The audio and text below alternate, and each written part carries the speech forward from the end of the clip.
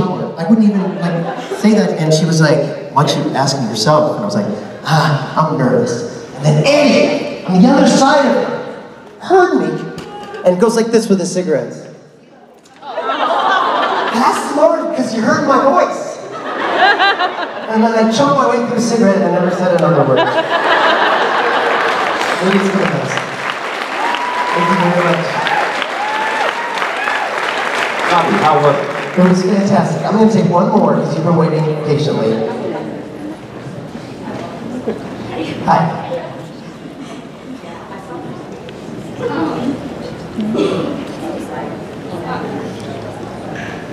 What do you, It's okay. I'm, I'm right here.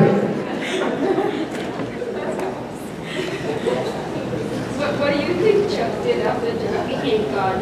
He just melted back into the light?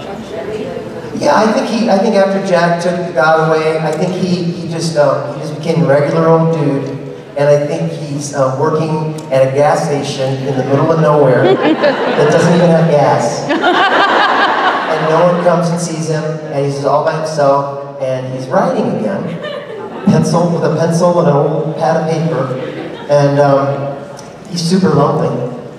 Um, but he's but he's but he's but he's writing again, so that's good. So he's got that going for him. Thank you so much. Thank you,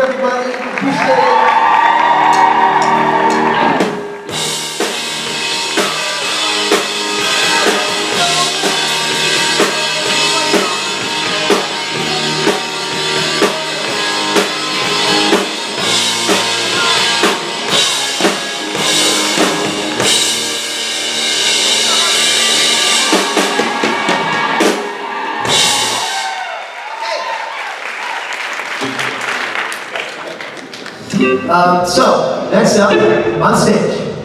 Uh, it's, it sounds like a joke. It's like uh, Ruth, Briana, and two Sams walk to a bar. Samantha Pierce, Sam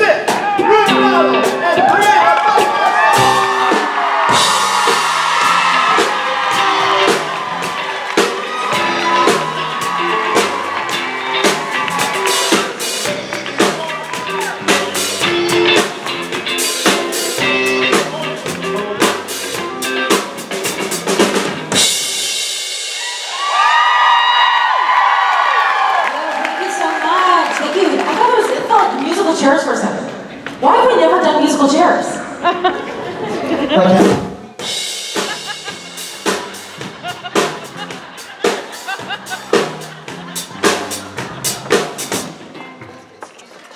Somebody loses. That's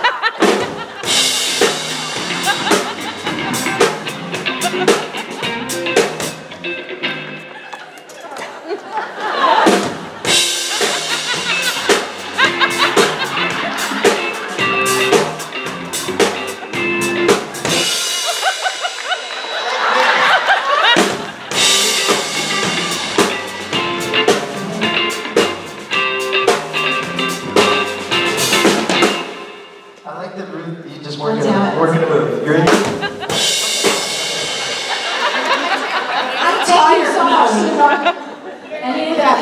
I'm tired. Let's sit down. I forgot about the altitude when I thought let's play a physical game this morning. Thanks for that.